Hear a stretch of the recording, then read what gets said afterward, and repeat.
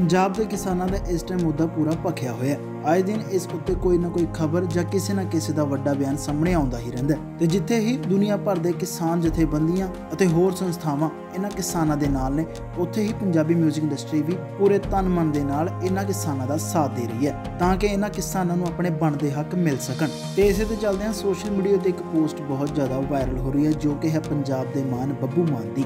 ਦੱਸਦੀ ਹਾਲ ਹੀ ਵਿੱਚ ਪੰਜਾਬ ਦੇ ਮਾਨ ਬੱਬੂ ਮਾਨ ਨੇ ਆਪਣੇ ਸੋਸ਼ਲ ਮੀਡੀਆ ਹੈਂਡਲਸ ਦੇ ਉੱਤੇ ਇੱਕ ਪੋਸਟ ਪਾਈ ਜਿਸ ਦੇ ਵਿੱਚ ਕਿ ਉਹਨਾਂ ਨੇ ਲਿਖਿਆ, ਕਿਸਾਨਾਂ ਤੇ ਮਜ਼ਦੂਰਾਂ ਦਾ ਅੰਦੋਲਨ ਬੜਾ ਸ਼ਾਂਤਮਈ ਤਰੀਕੇ ਨਾਲ ਚੱਲ ਰਿਹਾ ਹੈ।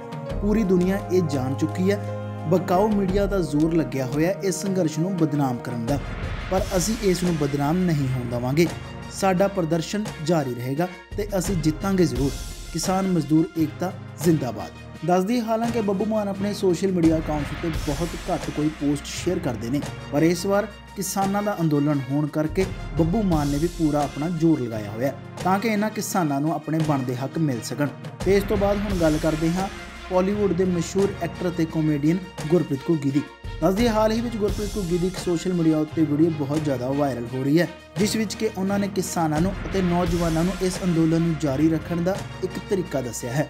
ਕੀ ਕਹਿ ਰਹੇ ਹਨ ਗੁਰਪ੍ਰੀਤ ਘੁੱਗੀ ਆਓ ਸੁਣਦੇ ਹਾਂ ਇਸ ਵੀਡੀਓ ਦੇ ਵਿੱਚ। ਹਿੰਦੁਸਤਾਨ ਦੇ ਕੋਨੇ-ਕੋਨੇ ਚੋਂ ਆਏ ਮੇਰੇ ਕਿਸਾਨ ਵੀਰੋ, ਅੱਜ ਅਸੀਂ ਦਿੱਲੀ ਦਾ ਹਰ ਰਸਤਾ ਰੋਕ ਕੇ ਅਸੀਂ ਦਿੱਲੀ ਬਲੌਕ ਕਰਕੇ ਦਿੱਲੀ ਦੀ ਸਰਕਾਰ ਦੇ ਸਾਹ ਸੂਤ ਕੇ ਬੈਠੇ ਹੋਏ ਹਾਂ।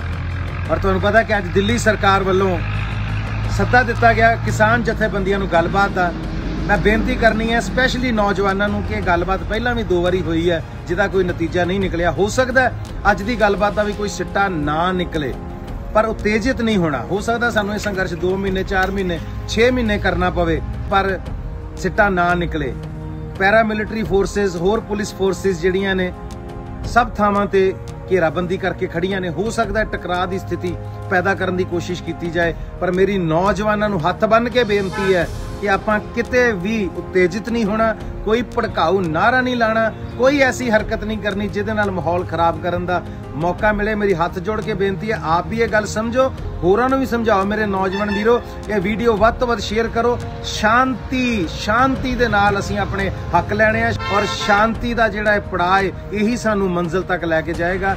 ਬਿਲਕੁਲ ਭੜਕਾਊ, ਕਿਸੇ ਗੱਲ 'ਚ ਨਹੀਂ ਆਉਣਾ, ਉਤੇਜਨਾ 'ਚ ਨਹੀਂ ਆਉਣਾ, ਇਸ ਸੰਘਰਸ਼ ਸ਼ਾਂਤਮਈ ਢੰਗ ਦੇ ਨਾਲ ਆਪਾਂ ਜਿੱਤਣਾ ਹੈ। ਬਹੁਤ ਸ਼ੁਕਰੀਆ, ਮਿਹਰਬਾਨੀ, ਜ਼ਿੰਦਾਬਾਦ। ਸੋ ਹੁਣ ਇਸ ਵੀਡੀਓ ਨੂੰ ਦੇਖ ਕੇ ਤੁਹਾਡਾ ਕੀ ਕਹਿਣਾ ਹੈ? ਗੁਰਪ੍ਰੀਤ ਘੁੱਗੀ ਬਾਰੇ ਅਤੇ ਪੰਜਾਬ ਦੇ ਮਾਨ, ਬੱਬੂ ਮਾਨ ਬਾਰੇ ਵੀਡੀਓ ਥੱਲੇ ਕਮੈਂਟ ਕਰਕੇ ਜਰੂਰ ਦੱਸਿਓ।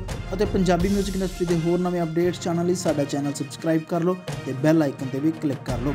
ਤੇ ਨਾਲ ਦੀ ਨਾਲ ਇਸ ਨੂੰ ਫੇਸਬੁੱਕ ਅਤੇ ਇੰਸਟਾਗ੍ਰam ਤੇ ਵੀ ਲਾਈਕ ਤੇ ਫੋਲੋ ਕਰ ਲਓ। Bureau report channel Satrang. For more updates subscribe channel Satrang.